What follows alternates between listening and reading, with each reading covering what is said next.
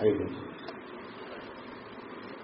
ఓం శ్రీ గురుభ్యో నమ హరి ఓం స్మృతిస్మృతిపురాణానామాలయం కరుణాలయం నమామి భగవత్పాదశంకరం లోకశంకరం నమస్తస్మై ఓం నమస్తస్మై భగవతే ఓం నమస్తస్మై భగవతే అర్హతే అర్హతే సంబుద్ధాయ సమ్యక్ సంబుద్ధాయ నహి వైరేణ వైరాణి నహి వైరేణ వైరాణి శామ్యంతేహ కదాచన శామ్యంతి కదాచన వైరేణ చ శామ్యంతి వైరేణ చ శామ్యంతి ధర్మ ఏష సనాతన ధర్మ ఏష సనాతన ఇప్పుడు చూడండి ఈ శ్లోకం పైన చూస్తే చాలా సరళంగా ఉన్నది. మామూలుగా కొద్దిపాటి సంస్కృతం నేర్చుకున్నవాడు దాన్ని అర్థం చేసుకోగలుగుతాడు. ఒక పది రోజులు సంస్కృతం రామ గజ అజహ ఇలాంటి మాటలు నేర్చుకున్నవాడు కూడా తెలుసుకోవాలి అయితే మరి బుద్ధుడు చెప్పినది ఆ, శ్లోకానికి అనువాదం ట్రాన్స్లేషన్ చదివేసుకుని అయిపోయింది. అలాగే ముందుకు వెళ్ళిపోవచ్చు నేను గమనించింది ఈ వేదాంతం చెప్పడానికి పూనుకున్నటువంటి కొంతమంది ఆచార్యులు చాలా మహాపురుషులు చాలా మంది ఉన్నారు. మనకు కొంతమంది కనపడుతూ ఉంటారు ఇక్కడ అక్కడ.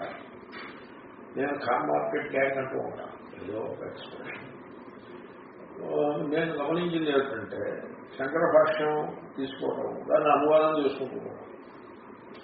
భగవద్గీత శ్లోకం తీసుకోవడం దాన్ని అనువాదం చేయడం శంకర భాష్యం చదవడం దాన్ని అనువాదం చేయడం ఏవో ఈ నాలుగు మాటలు ఎలిమెంటరీ పై పై మాటలు దానికి జత చేయటం మధ్యలో ఏదో కస ఒకటి చూపించడం లేకపోతే ఒకటి జోకులు యాడ్ చేయటం.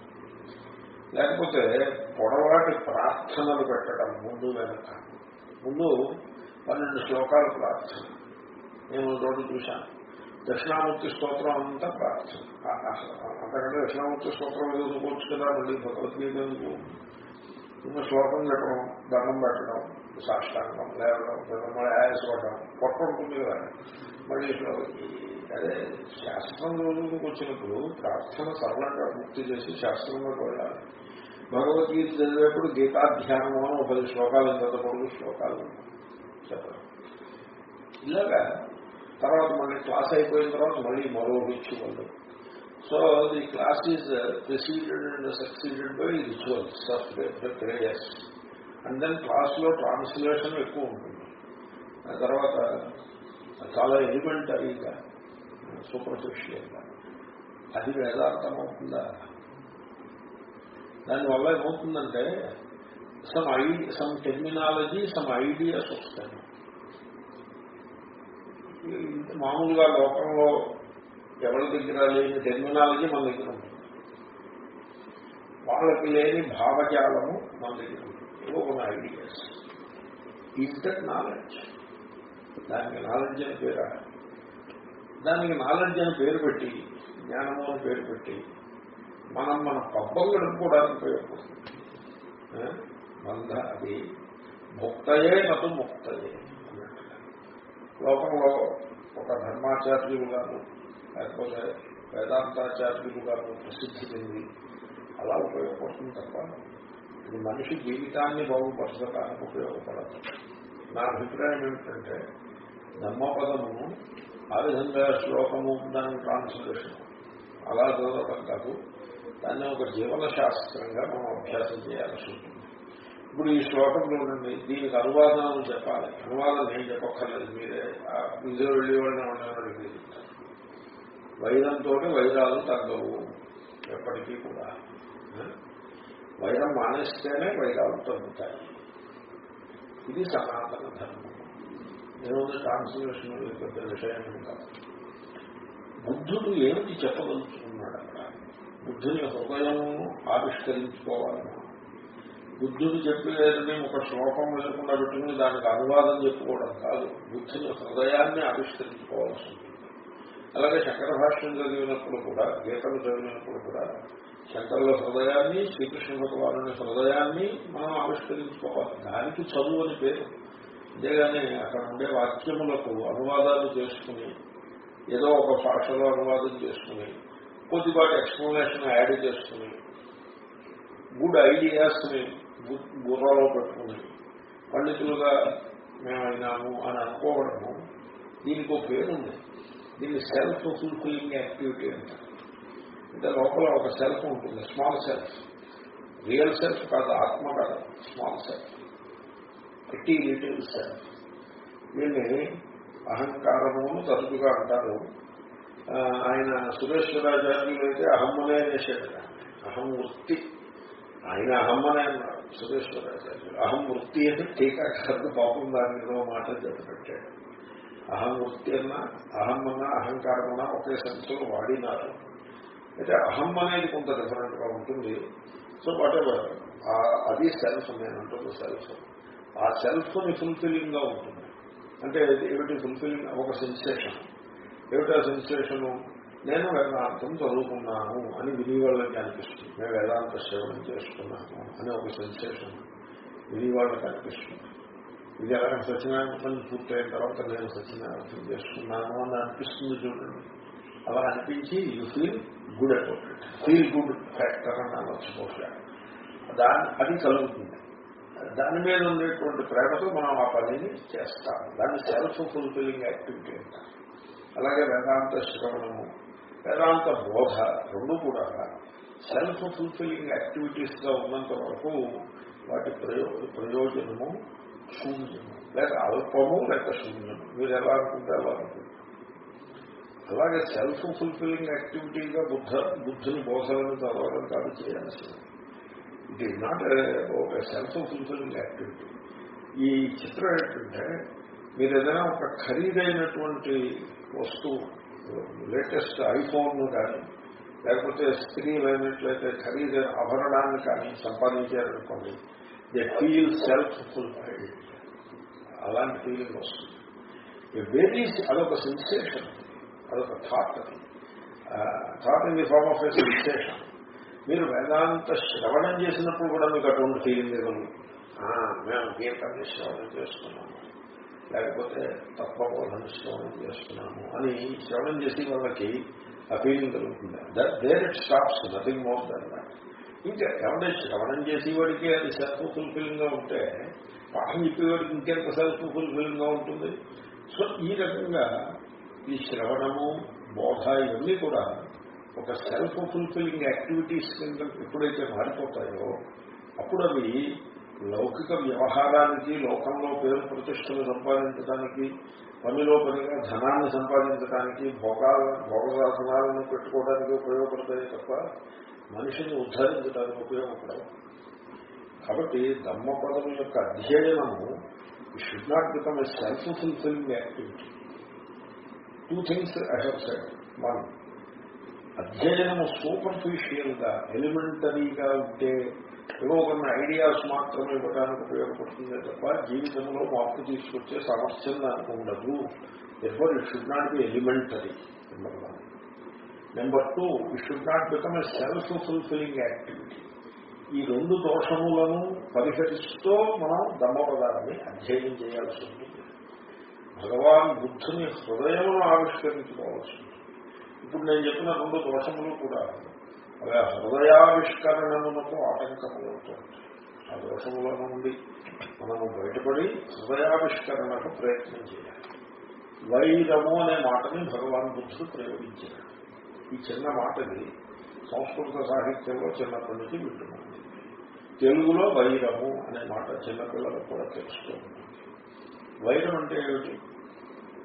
ఇప్పుడు మీరు ఆఫీసులో ఎవరితోటైనా మాట మాట వచ్చిందనుకోండి అభిప్రాయ భేదం వచ్చింది. అభిప్రాయ భేదం డిప్లొమాటిక్గా ఒక సమా- సమాజ జీవనంలో అగ్రీ టు డిసగ్రీ అన్నట్టుగా మర్యాదపూర్వకంగా అట్టి పెట్టుకుంటే దాన్ని వైరం ఆడరు దానికి వైరం అనే పేరు ఉండదు. వీ డిజగ్రీ టు డిజగ్రీ అయితే వైరం అవుతుంది. ఆ విధంగా వైరం పెట్టుకుంటారు. ఆ, వైరము ఒకప్పుడు ఫిస్ట్ ఫైట్ తిట్లకి ఒకరినొకరిని నిందించుకోవటం వరకు ఉంటుంది. బాగా డెవలప్డ్ సివిలైజ్డ్ సోఫిస్టికేటెడ్ సొసైటీస్లో ఒకరినొకరు నిందించుకుని ఆగిపోతారు. కొంచెం బండ స్వాధ్యాయులు కొంత లెస్ సివిలైజ్డ్ అయితే తిట్టుకుంటారు. మనం ఉచ్చరించలేని పదములతో తిట్టుకుంటారు. ఫోర్ లెటర్ వర్డ్స్ అంటారు ఇంగ్లీష్ ఆ తర్వాత ఒకరి మీద ఒకటి రాళ్ళు వేసుకుంటారు కొట్టుకుంటారు. దీనికి వైరము అని పేరు. వైరము అంటే ఆ మాత్రం. అర్థం అందరికీ తెలుసు. మన జీవితంలో మనము ఇటువంటి వైరమును కలిగి ఉన్నాము. చిన్నప్పుడు ఈ గోటికాయలు ఆడుతున్నప్పుడు ఒకటితోటి వైరం వచ్చింది. ఆ వైరం వల్ల కొద్ది రోజుల నుండి పోయింది. ఆ? తర్వాత ఆఫీసులో మన సుపీరియర్ తోటి మనకి వైరం అది పోతుంది ఇది ఈ బతుకంతా ఉంటుంది అలాగే నైబర్తో వైరం వచ్చిందనుకోండి అది పోయింది కాదు అది అలాగే ఉంటుంది అలాగే అన్నదమ్ములకు ఆస్తిపాస్తుల సందర్భం పంపకాల్లో వైరం వచ్చిందనుకోండి అది పోదు. అది అలాగే బతుకున్నంత కాలం పెట్టుకుంటారు కదా. ఇటువంటి వైరము మీరు పెట్టుకోవద్దు. ఆ వైరము అలా కొనసాగించుట చేత ఆ వైరము శమించదు అని చెప్పడానికి భగవాన్ బుద్ధుడు కావాల్సి వస్తుందండి. బుద్ధుడు కావాలా ఈ మాట చెప్పడానికి? అంతేనా బుద్ధుడు చెప్తున్నది ఈ మాట మీకు ప్రైమరీ స్కూల్లో అంటే రెండో తరగతి మూడో తరగతి చదివిన స్కూల్లో మాస్టర్ తెలుగు మాస్టర్ చెప్పలేదు. ఏ? చెప్పుంటారు అలాగే మేము పిల్లలు గోపికాయలు ఆడుకుంటూ దగ్గరాడుకున్నప్పుడు మా అమ్మగారు పిలిచి చెప్పారు అమ్మ అలా వైరం పెట్టుకోవాలి దానికోసం భగవాన్ బుద్ధుడు దాకా వెళ్ళిపోనక్కర్లేదు అయితే అది ఆ మాట కరెక్టా? కదా కరెక్టే. బుద్ధుడు అలా చెప్తున్నాడు లేదు చెప్తున్నాడు. అయితే దీన్ని ఇంకొంచెం మనం లోతుగా పరిశీలించాల్సి ఉంటుంది నేను అనేది ఏంటంటే ఇప్పుడు నేను చెప్పింది ఊరికే ట్రాన్స్లేషన్ చేసి ఎలిమెంటరీగా ఏ వైరం పెట్టుకోకండి మీలో మీరు వైరం పెట్టుకోకండి మీరందరూ కలిసిమెలిసి ఉండండి అన్నదమ్ముల్లాగా ఉండండి. పొలిటికల్ స్పీచ్ పొలిటిషియన్స్ కూడా బయటకు పెట్టుకోదని చెప్తా ఉంటారు కాబట్టి బుద్ధుడు అలాగే చెప్తున్నాడా? అంత మాత్రమే ఆయన చెప్తున్నది.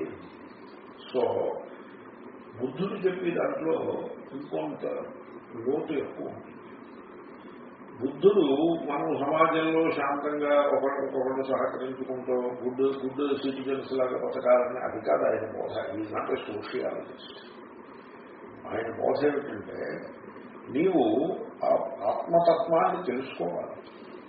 ఆత్మతత్వము ఇదమిత్తముగా నిశ్చితముగా ఉండేది కాదు. దానిని మీరు కొలవలేరు. కొలవడం అంటే ప్రమాణ సిద్ధము అర్థం. ప్రమాణము అంటే కొలిచి కానీ ప్రమాణము అంటారు మాని మానే. కొలత. మీరు చిన్నప్పుడు మానములు చదివారా? ఆ? నా చిన్న పుస్తకం ఎక్కడ పుస్తకం ఉండేది? దాంట్లో మానములు అని ఉండేది. నాకు మాకు బాగా గుర్తు. మా నాన్నగారు దగ్గర మానాలన్నీ కనిపిస్తుంది ఏమిటో మానం ఏమిటో చెప్పుకుంటారా? మూడు తలములు ఒక తులము. మూడు తులములు. నేను అప్పుడే మర్చిపోయాను. అలాగా పాదాలము చటాకు పాదాలము పాదాలము కాదు పంపు పంపు మర్చిపోయాను. ప్రతి తులంలో ఎన్నో ఒక చటాకు అవుతుంది. రెండు చటాకులు ఒక పంపు. మీకు అనుభవం ఏం లేదు. మా అమ్మగారు అదే ఒక చటాకు బట్టి రూపాయలు తెచ్చిపెట్టమని చెప్పేవారు నాతో వీధిలో చటాకు అమ్మేవారు. పంపు పచ్చిమిరపకాయ పచ్చిమిరపకాయలు తింటామా? ఒక కూర తింటామా? పంపెందుకు ఒక చిటాకు చాలు. అని అడిగేవారు. ఏ? రెండు పంపులు. నాలుగు పంపులు చేరు మానం తెలియలేదండి. ఎన్ని మానము అంటారు ప్రా పెట్టారనుకోండి మానం ముందు ప్రా పెట్టారనుకోండి ఏమవుతుంది అది నా నానం అవుతుంది. ప్రా దగ్గర వచ్చిన మామూలుగా సమాన పదంలో ఉండాలి రేఖ. రథాభ్యాం మోన సమాన పదే ఇది సమాన పదం కనుక ప్రాపసర్గ దానికేమో కొన్ని ఎక్సెప్షన్స్ పెట్టారు మహర్షి పాణిని. కాబట్టి ప్రా పెట్టిన కారణంగా సమాన పదం కాకున్నప్పటికీ అసమాన పదనిపి ఆ రేఖ అది నిమిత్తం అవుతుంది నాంచి నానవడానికి. ప్రమాణము. అంటే మంచిగా పోలిచేది. మంచిగా పోలిచేది. మీరు ఆ సత్య వస్తువును మంచిగా కొలిచేటువంటి ప్రక్రియతో తెలుసుకోలేరు. మీరు మీ బుద్ధితో దాన్ని తెలుసుకోలేరు అది సర్వములకు అతీతమైనది. దాని ఎందు దేశకాల వస్తు పరిచ్ఛేదములు లేవు. అది జ్ఞాన గోచరము కాదు. అంటే బుద్ధి ఉపయోగించి ప్రమాణము ఉపయోగించి తెలుసుకునేది కాదు. అటువంటి ఆ తత్వమును మీరు తెలుసుకోవాలి చేరుకోవాలి. ఇక్కడ తెలుసుకోవడం అంటే చేరుకోవడం. అంచేతనే దీన్ని లబ్ధి లభ అనే పదంలో పడేశారు. పద అనే పదాన్ని వేశారు. పద అంటే పద్యతే ఇది పదం. తెలియబడేది పొందబడేది పొందుట అనే అర్థంలో వేశారు. దాన్ని చేజిక్కించుకుంటారు అనే అర్థంలో లభ జ్ఞానార్థంలో పెడితే అది బుద్ధితోటి మీరు తెలుసుకునే ప్రయత్నం చేస్తారేమోనని మామూలుగా జ్ఞానము అంటే ఏమిటి? బుద్ధితో తెలియబడేది. ప్రమాణ గోచరము ప్రమాణ గమ్యము.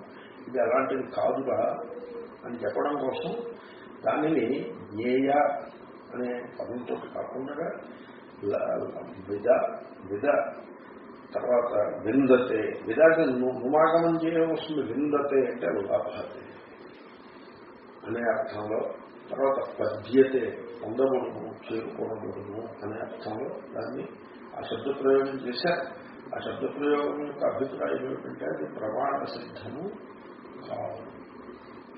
మరి ప్రమాణం ఉంది ప్రమాణం అంటే ఏమనుకుంటున్నారు? మనస్సే ప్రమాణం. మనస్సు వృత్తి రూపమైన మనస్సు ఉన్నదే ఇదే ప్రమాణం. ఇది ఆ ఆత్మతత్వమును తెలియటమాట అలాంటి బట్టి అది ఆత్మతత్వానికి ఆటంకమైతే కాగలుగుతుంది అది ఆటంకం కాకూడదు. మనస్సు ఆటంకం కాకుండా ఉంటే మీ స్వరూపాన్ని మీరు తెలిసేసుకుంటారు. అందుగురించే ఫోకస్ మనస్సు మీద పెట్టాల్సి వస్తుంది. బుద్ధుడు ఆత్మ గురించి ఫోకస్ పెట్టలేదు. ఇప్పుడు దీంట్లో రెండు పద్ధతులు ఉన్నాయి. ఆత్మ గురించి విస్తారంగా చెప్పి దీన్ని తెలుసుకో. తెలుసుకోవటానికి మనస్సు పరిశుద్ధముగా ఉండగలను అని చెప్పారనుకోండి. అప్పుడు ఫోకస్ ఆత్మ గురించి మీరు చెప్పినంత స్పెక్యులేటివ్ అయిపోతుంది.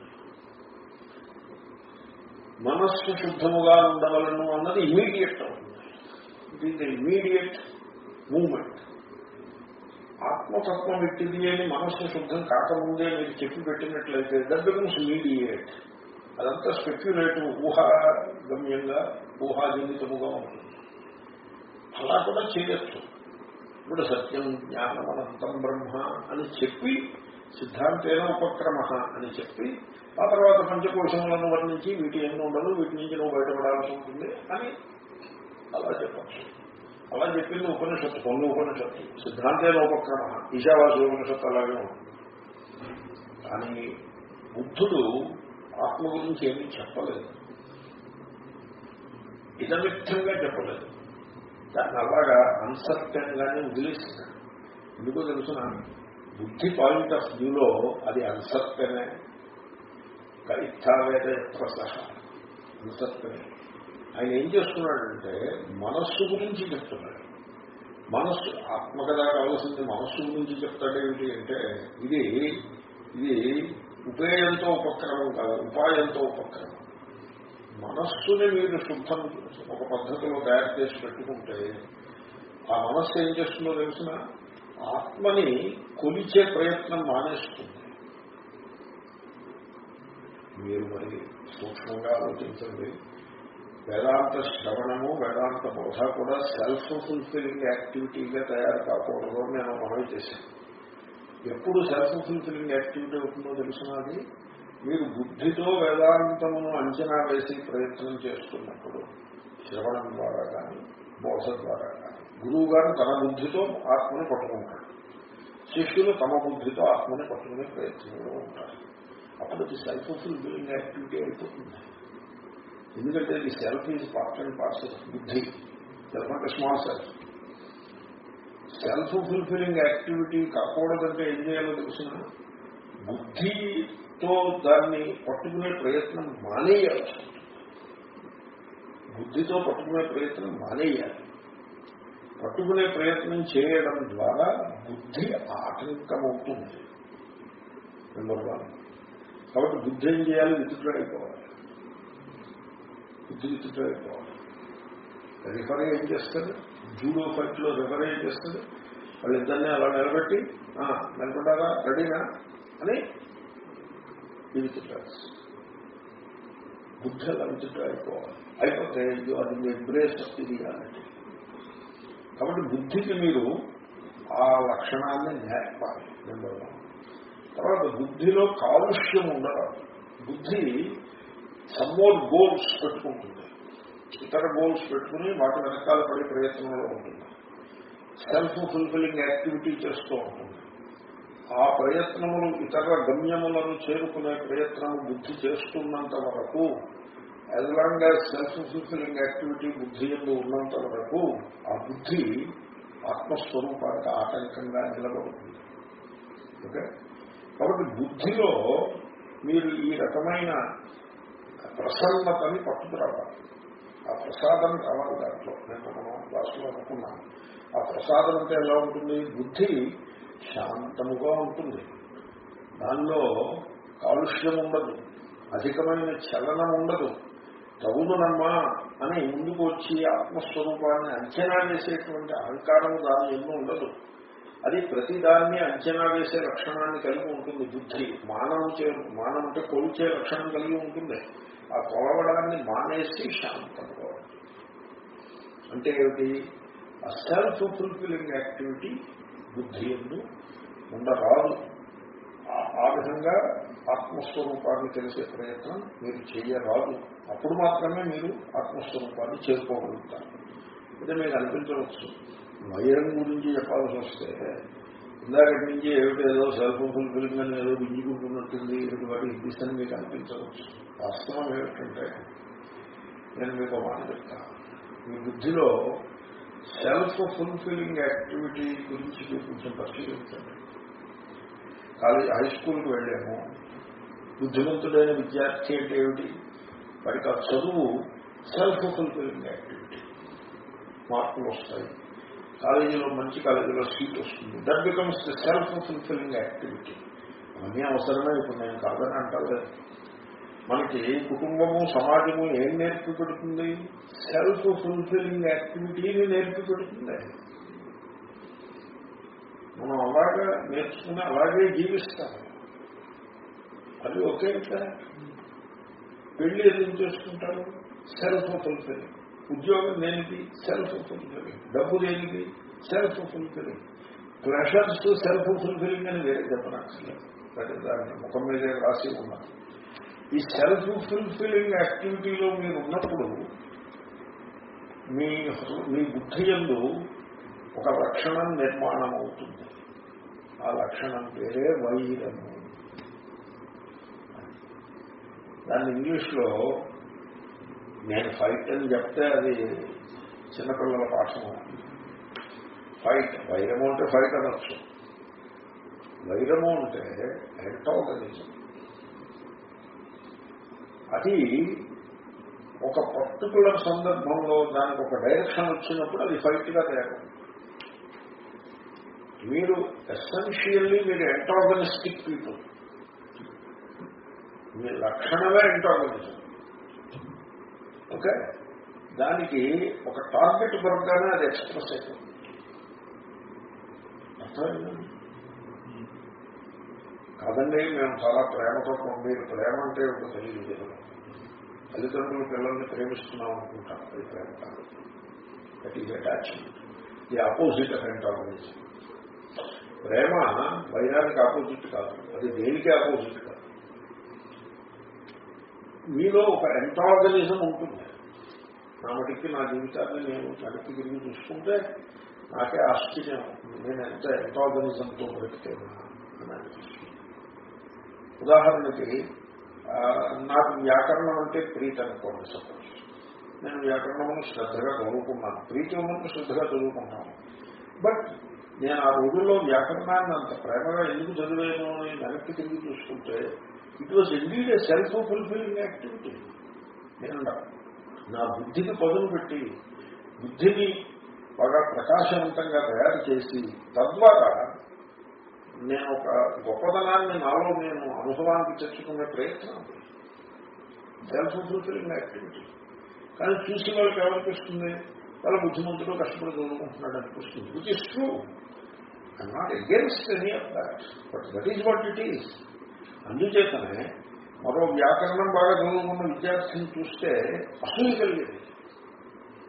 అసూయ అది వైరము అసూయ వైరమా కాదా? వైరమైంది తర్వాత ఆ, మనం అంతలా చదువుకోలేకపోయామే అని ఒక సెల్ఫ్ పిటి కలిగేది. వాడి మీద అసూయ కలిగేది నా మీద నాకు సెల్ఫ్ పిటి వాడు తద్ధితులు చదివేశాడు నేను ఇంకా చదవలేకపోయానే తద్ధితులు లేకపోతే తిన్నంతం వాడు నేను అంత బాగా నాకు ఇంకా అది పట్టు రాలేదే అది. దాని మీద అంతగా అభాక్తి నాకు ఇంకా రాలేదే. That is what is called self pity అది కూడా వైరమే and you're jealous of the other person దాని పేరు వైరం when you're when you feel pitiable about yourself అది కూడా వైరమే తన వైపు టార్గెట్ అయింది ఆ వైరం ఆ ఎంటాగనిజం తన వైపు టార్గెట్ అయింది. ఒక ఒక వ్యాకరణ పండితుల్ని చూస్తే అసూలు కలిగి రెస్పెక్ట్ ఉంది కానీ వ్యాకరణం రాని వాడిని చూస్తే డిస్రెస్పెక్ట్ కాబట్టి ఆ రెస్పెక్ట్ రూపంగా వచ్చినది కూడా ఆ ఇన్సైడ్ ఎంటాగనిజమే ఆ వైరమే. కాబట్టి మనం చిన్నప్పటి నుంచి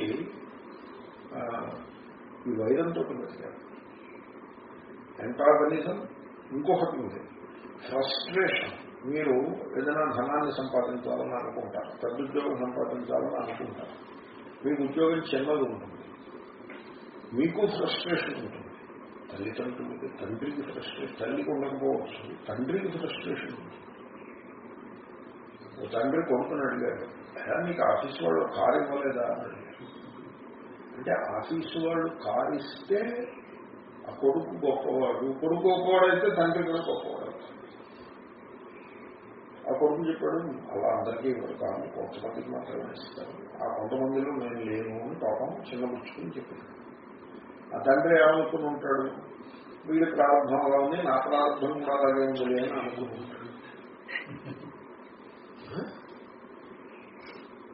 ఇది అది ప్రేమగా తండ్రికి ఉన్న ప్రేమనా? వైరమా అది?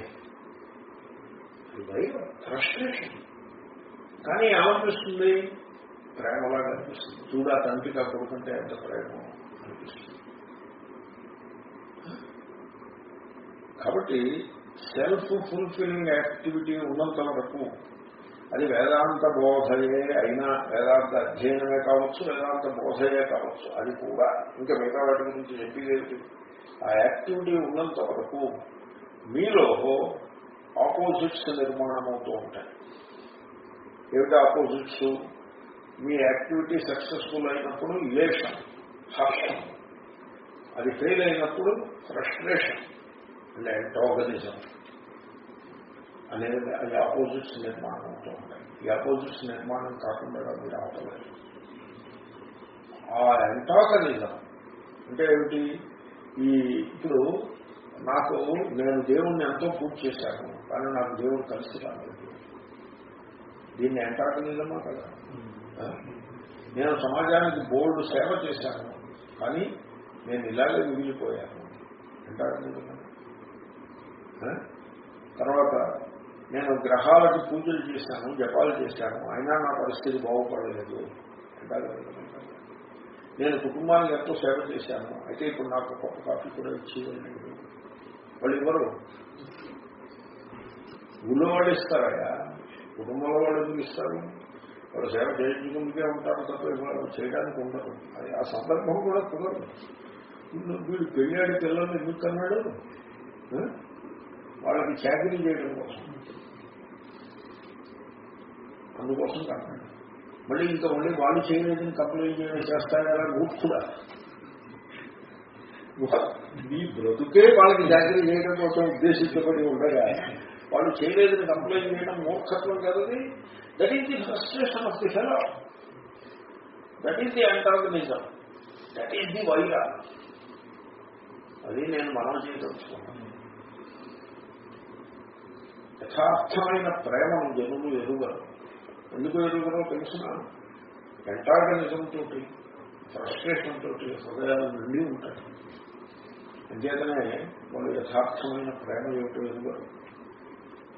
నేను ఇప్పుడు మీరు గమనించండి లోకంలో చూస్తూ ఏదో సమాజానికి ఏదో కష్టం వచ్చిందో లేదా ఏదో మంచి కార్యం కోసం బోర్డు ధనాన్ని ఇస్తాడు ఆ ఇచ్చిన వాడి పద్ధతిని మీరు ప్రవర్తన మీరు చూడండి. అవి ఇచ్చినవాడు పుచ్చుకున్నవాడు వీళ్ళిద్దరిని కూడా నేను చూసి ఆశ్చర్యపోతూ ఉండేవాడు ఇచ్చిన వాడినే పుచ్చుకున్నాడు ఇంత పెద్ద చెక్కు ఒకటి తయారు చేస్తాను. చెక్కు ఆ చెక్కు బ్యాంకుకి తీసుకుంటే తీసుకుంటారా? ఆ చెక్కు ఎందుకంటే వీడియో కోసం ఫోటో ఆ చెక్కుని తలుపు అంత ఉంటుంది? అది? ఆ చెక్కు మీద రాసి ఉంటుంది పెద్ద పెద్ద అక్షరాలతో. పుచ్చుకున్నవాడి పేరు.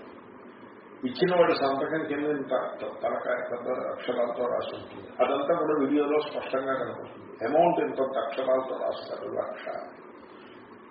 అది వీడియో తీస్తారు ఫోటో తీస్తారు. ఇటువైపు పుచ్చుకున్న ఆయన నిలబడతాడు అటువైపు ఇచ్చే ఆయన నిలబడతాడు. ఏమంటే అది ప్రేమయా సెల్ఫ్ ఫుల్ఫిలింగ్ యాక్టివిటీ అది?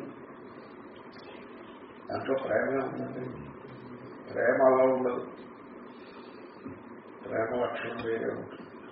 ప్రేమ మీకు కనపడదు. దానికి వీడియోలు ఫోటోలు ఉండవు ప్రేమ. అది గాలి వీచితేనైనా కొద్దిగా సౌండ్ వస్తుందేమో కానీ ప్రేమ యొక్క మూమెంట్లో ఆ మాత్రం చలనం కూడా మీకు కనపడదు. చాలా సహజంగా. మూడో కంటి వాడికి తెలియకుండా ప్రేమ యొక్క ప్రవాహం ముందుకు సాగుతూ ఉంటుంది. అదంతా సృష్టిలో నిండి ఉంటుంది. అది ఉండబట్టే ఈ సృష్టి ఇలా నిలబడింది. ఆ ప్రేమకే ఆనందము అంటారు.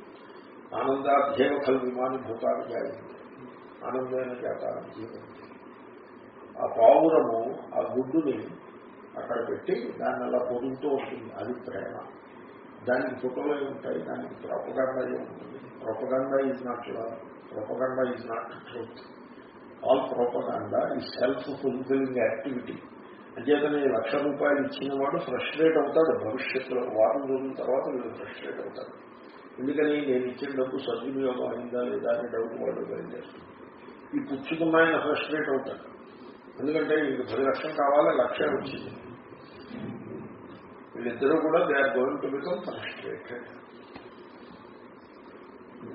సమాజ సేవ చేస్తామనే పేరుతోటి ఎవరైతే ఈ రకంగా ఆర్గనైజేషన్స్ పెట్టుకుని ఫండ్ రైజర్స్ చేస్తూ నేను కొంచెం కాంట్రవర్షియల్గా మాట్లాడుతున్నానేమో అని అర్థం అవుతుంది నాకు. ఇంకా మరి చేసేది ఏముంది? అయిపోయిందిగా వీళ్ళందరూ కూడా ఇచ్చివాళ్ళు ఫ్రస్ట్రేట్ అవుతూ ఉంటారు పుచ్చుకున్న వాళ్ళు ఫ్రస్ట్రేట్ అవుతూ ఉంటారు. మీరు చూసుకుంటే సరిపడుతుంది. పైకి చెప్పరు తేలుకుట్టిన దొంగ అని సామెత అవుతుంది పైకి చెప్పరు కాబట్టి ఫ్రస్ట్రేషన్ ఈజ్ వైరము ఎందుకంటే ఫ్రస్ట్రేషన్ ఏమవుతుంది అది బయటికి ఎలా వస్తుంది అది వైరము రూపంగా వస్తుంది వైరము అంటే కాన్ఫ్లిక్ట్ అయ్యా మీ లోపల కాన్ఫ్లిక్ట్ లేదు తర్వాత ఎంటాగనిజం ఈ ఎంటాగనిజం అనేది మన లోపల ఉంటుంది అది అది ఆ సమయం వచ్చినప్పుడు ప్రకటన ఇప్పుడు వాడు ఎంటాగనిస్టిక్గా కూర్చుని ఉంటాడు ఈ లోపల ఎవడో ముష్టివాడు వచ్చి అయ్యా ఎన్నో మైఫోగలు కట్టాడు అంటే ఇప్పుడు ఈ వైరం ప్రకటన నిజమండి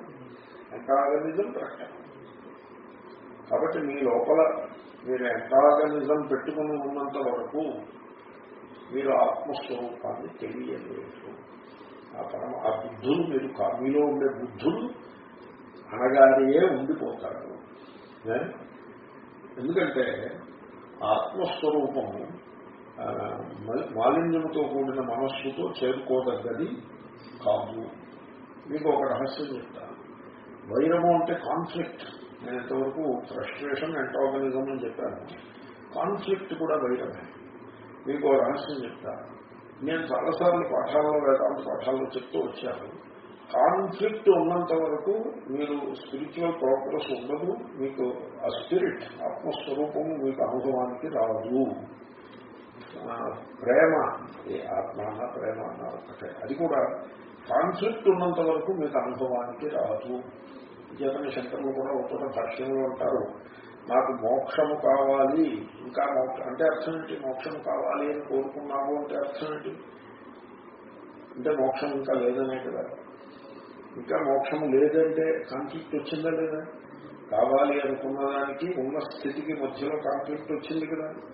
ఈ కాన్ఫ్లిక్ట్ ఉన్నంత వరకు కూడా నీకు మోక్షము రాదు అని చెప్పారు.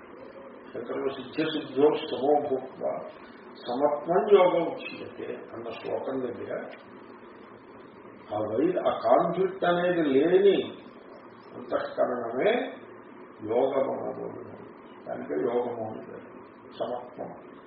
కాబట్టి ఎటువంటి కాన్ఫ్లిక్ట్ హృదయంలో ఉండకూడదు. ఆఖరికి నాకు మోక్షం కావాలి అనే కాన్ఫ్లిక్ట్ కూడా ఉండరాదు. అప్పుడు మాత్రమే మీకు ఆ మోక్ష సామ్రాజ్యం మిమ్మల్ని మీకు లభిస్తుంది మీరు బుద్ధుడు కాగలుగుతారు. కాబట్టి అత్యంత సూక్ష్మమైన రూపంలో కూడా వైరము ఉండరాదు. వైరము. ఇప్పుడు వైరము అంటే ఏమనుకున్నాం? కాన్ఫ్లిక్ట్ అంటాగనిజం ఫ్రస్ట్రేషన్ ఇన్ని రూపాలలో ద్వేషము చికాకు ఇరిటేషన్ లోపల తెలుగులో అన్ని ఇంగ్లీష్లో చెప్పడం తెలుగులో ఉంటున్నాం చికాకు పడడం తర్వాత ఏదో కోల్పోయినా అనేటువంటి ఒక ఆత్మ న్యూనతా భావము ఇవన్నీ కూడా వైరంలో వస్తాయి.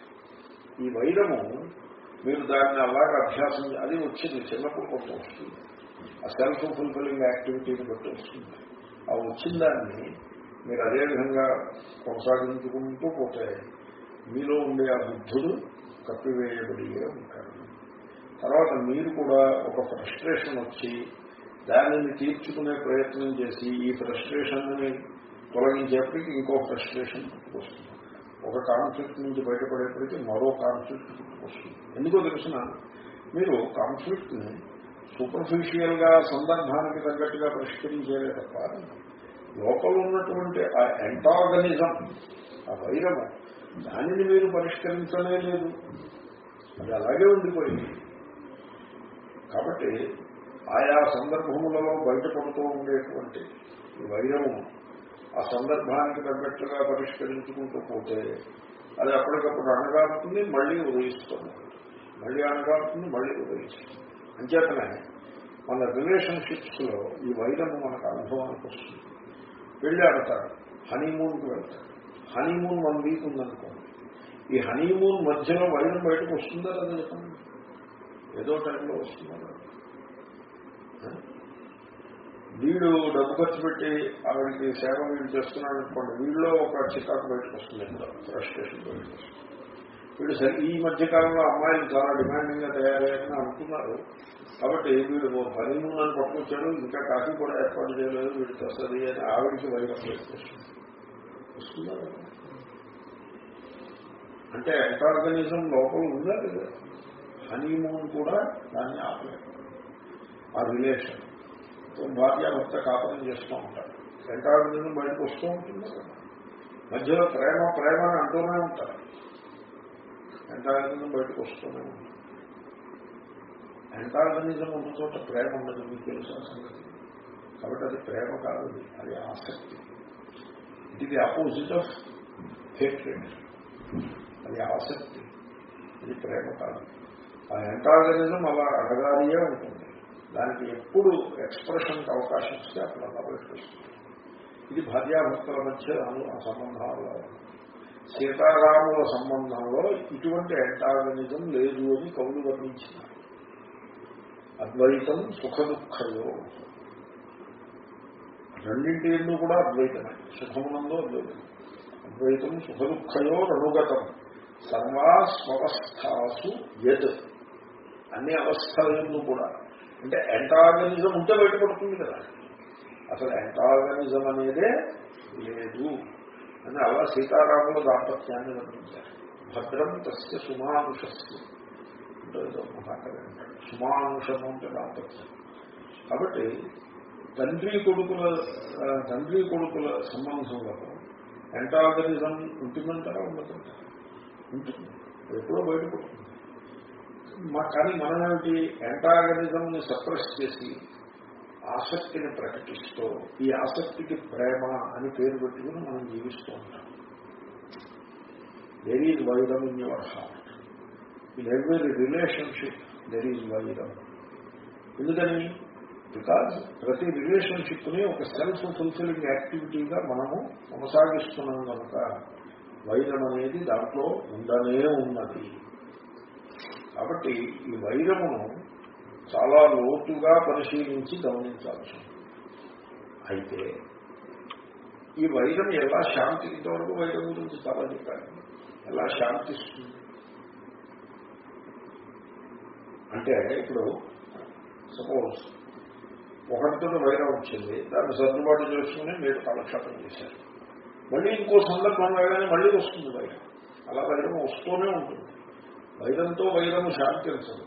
వైరాలు వస్తున్న కొద్ది కొత్త కొత్త వైరము పుడుతూనే ఉంటుంది. అయితే ఇప్పుడు ఇంకో పని చేద్దాం. ఈ వైరమును నేను దూరం చేయాల్సి ఉంటుంది. నా హృదయంలో వైరము ఉండడానికి వీలు లేదు అని ఇంకో ఇంకో కొత్త యుద్ధం ఒకటి చేయాలనుకోండి. మీతో మీరు. ఇది కూడా వైరమే.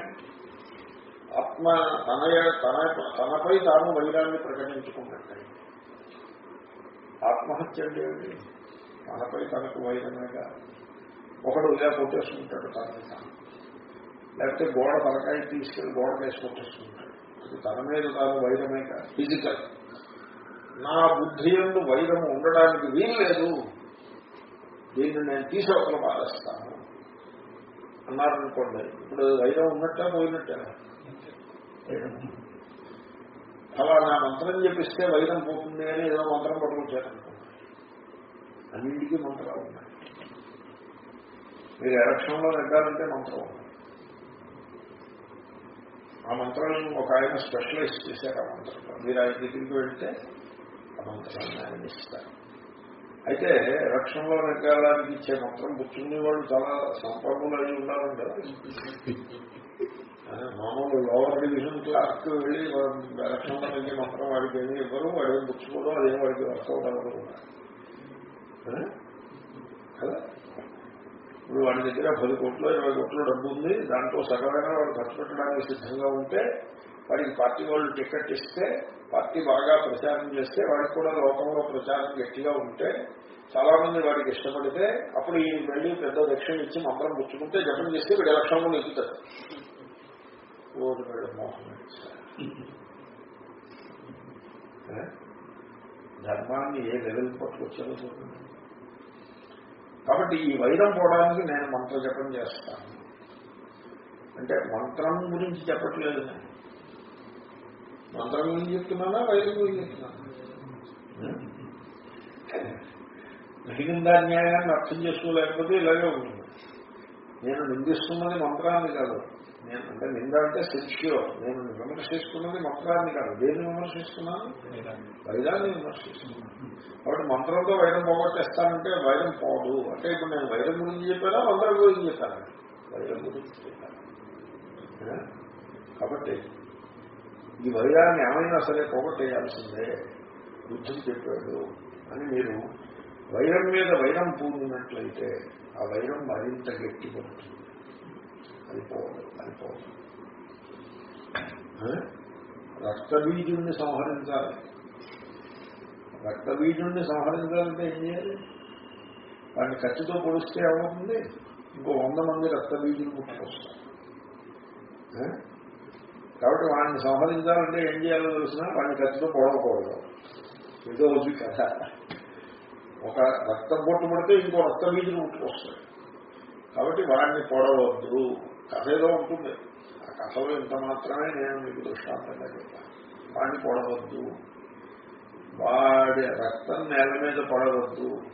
అంటే ఆ రక్తాన్ని నువ్వే మింగేసి కూర్చో. వాడి వాడి దారిని వాడిని వదిలేయి. వాడిని అలా ఒక కట్ట కనిపెట్టి వదిలేయి. వాడిని ఎవరు పొడవడు ఎవడు వాడి మీద బాణం వేయడు. వాడు ఏమవుతాడు? అలా నీరసించి కురిగి కృషించి అంతర్ధానం. ఆ కథ అలా ఉండకపోవచ్చంలో నేనేదో చెప్పాను. కాబట్టి ఈ ఎంటాగనిజం ఈ ఫ్రస్ట్రేషన్ ఇది మనలో ఉన్నది. మనం ఇలా బతుకుతున్నాం. ఇది మనలో ఉన్నది. అని ఎక్నాలజీ చేయడానికి కొంత వినయం ఉండాలా? అక్కర్లేదా? ఆ హంబుల్ హార్ట్ ఉండాలా?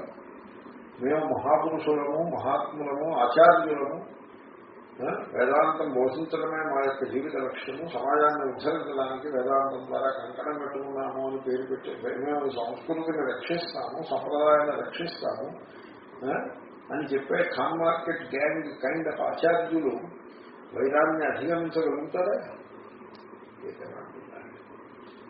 కాబట్టి ఆ వైరము దాని దారిని దాన్ని వదిలిపెట్టింది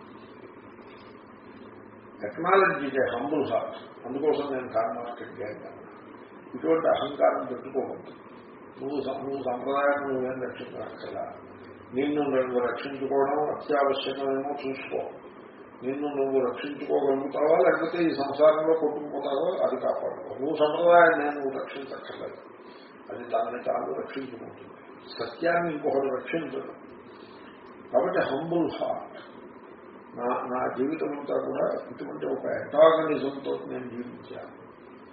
Can you tell that to yourself నేను ఇటువంటి ఏదో ఒక వైరం ఏదో రూపంలో దానికి రూపాలు మారుతాయి. కానీ ఆ వైరం అనే ప్రిన్సిపల్ అలా హృదయంలో ఉండిపోయింది ఎందుకంటే మళ్ళీ మొన్న పాఠంలో చెప్పినట్టుగానే ఆ సెల్ఫ్ ఫుల్ఫిలింగ్ యాక్టివిటీ ఉన్నంత వరకు ఆ వైరం అలాగే ఉంటుంది.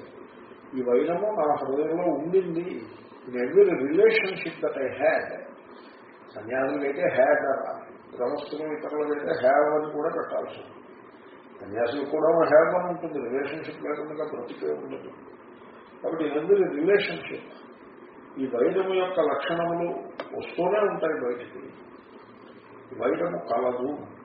ఆ స్మాల్ సెల్ఫ్ ఎంతవరకు సెల్ఫ్ ఫుల్ఫిల్లింగ్ యాక్టివిటీ ఉంటుందో అంతవరకు ఆ సెల్ఫ్ అలా బలంగా ఉంటుంది. అది ఉన్నంత వరకు ఆ వైరం అలాగా జీవితంలో కొనసాగుతూనే ఉంటుంది. ఇది దీని ఇది ఇది దీని పరిస్థితి. ఇది ఇలా ఉన్నది. అని ఎక్నాలజీ చేయి. Acknowledge that and you notice that దీని పేరు ఏమంటారంటే ఫాల్స్ అంటే ఏది దోషమో దోషములు దోషముగా దర్శించుకుంటారు. దోష దర్శనం చేయమన్నారు. దోషంతో కుస్తీ పట్టు యుద్ధం చేయమన్నారా? దోషం మీద యుద్ధాన్ని ప్రకటించమన్నారా? దర్శనం చేయమన్నారా? పతంజలి దర్శనమే చేయమన్నారు శ్రీకృష్ణుడు ఏమని చెప్పాడు? జన్మమృతి జరా వ్యాధి జన్మ దుఃఖ దోషాలు దర్శనం చేయమన్నారు దీని దర్శనం నీకు చేత కాకపోతే ఆ గేట్ తొలగిపో. అప్పుడు దర్శనం ఎలా చేయాలో తెలుస్తున్నాము అని దర్శనం దర్శనం. ఈ వైరము ఉన్నది. ఈ వైరం ఇలాగా పైకి వస్తూ ఉంటుంది. పైకి వచ్చినప్పుడల్లా బలపడుతూ ఉంటుంది అది అదేమీ పోయింది కాదు. కాబట్టి ఈ సెల్ఫ్ ఫుల్ఫిల్లింగ్ యాక్టివిటీతో ముడిపడి ఉన్నది. తర్వాత ఆపోజిట్స్ సుఖము దుఃఖము. నాకు సుఖం కావాలి దుఃఖం వద్దు అంటే మీలో యాంటాగనిజం నిర్మాణం ఫ్రస్ట్రేషన్ నిర్మాణం. కాబట్టి ఈ ఆపోజిట్స్ తోటి బ్రతుకుతున్నంత వరకు ఈ యాంటాగనిజం ఈ వైరం అలాగే నిలిచి ఉంటుంది పౌరులు ఇది సత్యం. మీరు ఈ సత్యాన్ని దర్శించండి. మీరు ఈ సత్యాన్ని దర్శించండి. మీరు వైరం మీద యుద్ధం ప్రకటించండి. సత్యాన్ని దర్శించండి. See the false as false దానికే సత్య దర్శనము అంటే seeing the false as false is the realization of truth మీరు this is the truth I realize this truth అది ట్రూత్ రియలైజేషన్ కాదు. అలా ఉన్నది ట్రూత్ రియలైజేషన్ అలాగే అప్పుడే మిస్ అయిపోయాడు అప్పుడు. ఇది విన్నాం వేదాంత ఆచార్యులు అర్థం చేసుకోవాలి. వేదాంత you will not realize the truth as truth ఎందుకంటే ట్రూత్ని ట్రూత్గా మీరు రియలైజ్ చేస్తే అది ది అదర్ అవుతుంది. అది అనాత్మ అవుతుంది. అది కాదు వేదాంతం అంటే. మరి వేదాంతం అంటే ఏంటి you see the false as false మీరు ఆ ఫాల్స్ హుడ్ని మీరు చూడండి. అలా చూడండి. మీ జీవితంలో ఈ కొత్త చూపును మీరు అలవాటు చేసుకోండి. అప్పుడు ఏమవుతుందో వైద్యం గురించి మీకు ఏమవుతుందో మీకే అనుభవానికి వస్తుంది. అది పోతుంది. దాని స్థానంలో ప్రేమ నిర్మాణం. నహి వైరేణ వైరాణి శామ్యంతి ఇహ కదాచన नहि वैरेण वैराणि काम्यन्ति इह कदाचन అవైరేణ చ శామ్యంతి ధర్మ ఏష సనాతన अवैरेण च शाम्यन्ति धर्म एष सनातनः అవైరేణ అంటే వైరం మీద కూడా మీరు వైరం పెట్టడానికి లేదు వైరము తప్పు ఇట్ ఈస్ ఫాల్స్ అని దర్శించడం తప్ప ఇంకా మీరేమీ చేయాల్సింది లేదు ఆ వైర స్థితిలోకి మనం వెళ్ళాల్సి ఉంటుంది.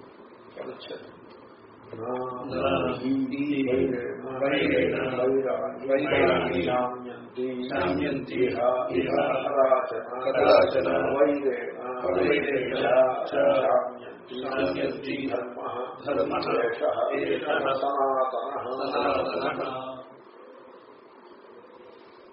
వైరేణ వైరము చే వైరేణ వైరము చే ఇహాయి లోకమునందు ఇహ ఈ లోకమునందు ఈ జీవితమునందు ఈ జీవితమునందు కదాచన ఎప్పుడైనను? కదాచన ఎప్పుడైనను? వైరేణ వైరము చే వైరేణ వైరము చే వైరాణి వైరములు. వైరాని వైరములు. నశామ్యంతి చల్లారవు. నశామ్యంతి చల్లారవు. ఇది నిశ్చయము. ఈ నిశ్చయము.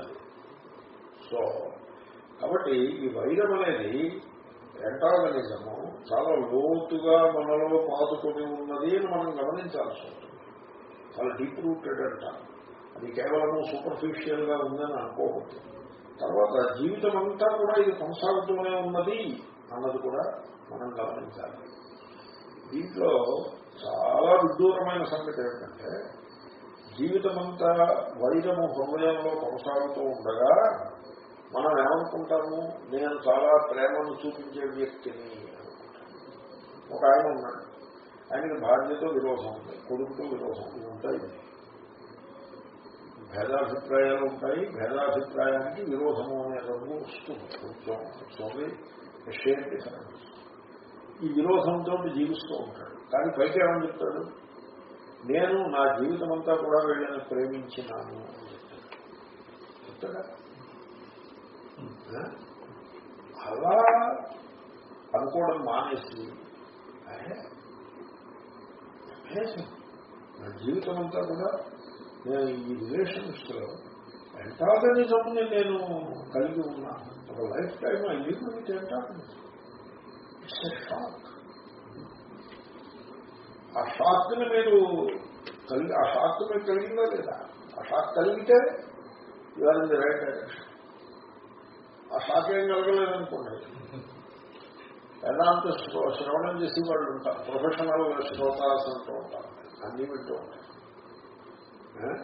ఆ టైంకి ఏదో స్వామి చెప్పినట్టు అస్తమాన ప్రజలు షాపింగ్ చేయడం వెళ్తారు. గతులు కూడా ఎక్కువ ఖర్చు అవుతాయి.